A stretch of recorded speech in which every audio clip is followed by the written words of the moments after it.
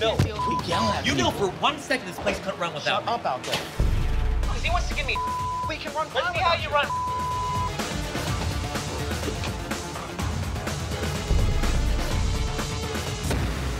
Jon Taffer's here. Jon Taffer's here. He's here, He's here. inside. I want to hide. I don't, know. he's not going to be happy with us.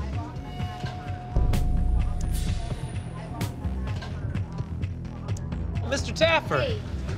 Hello. Hello, sir. How are you? Good, thanks. Jacob Harver. You're drinking. Oh, we just took a shot, you know, night of celebration. What are you We just- celebrating? well, we had a gallery party here, and Great. And how much money does it make? um, well, it's not really the primary revenue generator of the building. Uh, Where are the Martini brothers? Dan. Dan? I doing Joe. Joe. So why are these people here? For what purpose? we Show had me. a gallery party. Yeah. Show me. So people come in here and you take them away from the bar. How does that serve the business? I don't understand. I, I encourage people to buy food and drink from the bar. but they didn't.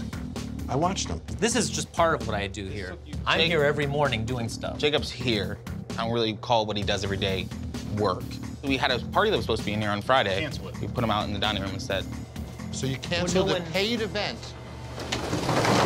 For that? What the are you talking about?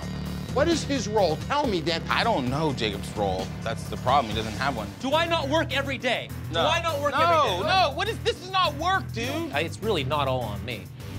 Dan doesn't wake up till four in the afternoon. It's out. I'm the one who's out here trying to make run. So I'm looking at two guys. You're not here in the daytime. You're not achieving what you believe. If you believe this is stupid, you're not doing anything about it. How much of this bar do you own? 46%. You own 46%. How much do you own? 46. You guys own 92% of the business, and you don't stand up for So he wins with 8%, because you guys have no balls. Fight for something. I'm the only one emotional here. How much you losing a month now?